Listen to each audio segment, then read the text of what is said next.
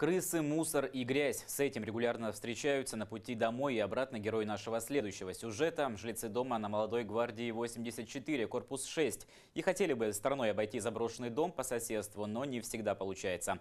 Приходится регулярно на свой страх и риск идти мимо заброшенной двухэтажки. Из темных закоулков центра города наш следующий сюжет.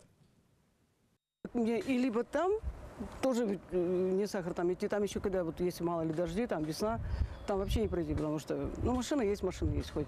Либо мне там обходить, тут здесь вообще по двору не, про это не пройти.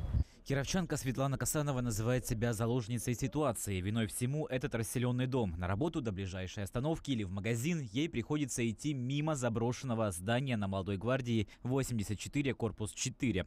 Другими путями, говорит, проблематично. При этом расселили дом еще в 2017 году, но до сих пор строение не снесли. И за последние два года здание превратилось в злачное место. Повсюду мусор. Вот, вот видите, оно же вот все.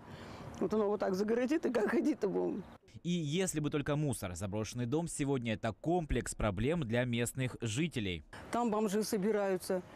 Дом считается, что он не относится в какой-то реестр. Его дорожку вот здесь не чистят. Зимой вообще невозможно ходить. Вот что вытоптали, и все. Здесь ходят дети в школу. Мы ходим на работу. Вот я проживаю рядом.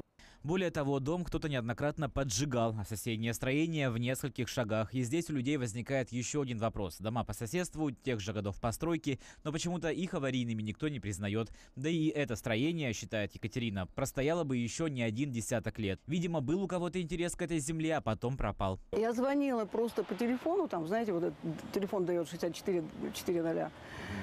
Просто как бы они выносят, потому что эти вопросы туда уже, правительству, да, вот только туда звонила, уточнялась, но никто так, никто не приехал, никто не разбирает ни мусор, ни вопрос никакой не ставит. А тем более скоро лето, переживают местные жители, и все это будет гнить, и вероятность пожаров вырастет в разы. Люди просят власти разобраться с ветхим строением. Напоминают, в нескольких десятках метрах Октябрьский проспект и крупный завод, а по соседству вот этот очаг антисанитарии и криминала.